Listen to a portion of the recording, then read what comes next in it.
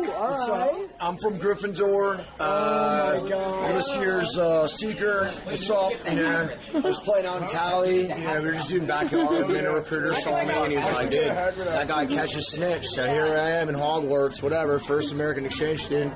It's been pretty good so far for me. So, yeah, you know, I'm looking forward to the season. Looking to live up to Harry Potter's influence. He was pretty cool. You know, not many pa- uh, players from Pasadena out here in Hogwarts, so I'm just going to hold it down, guys.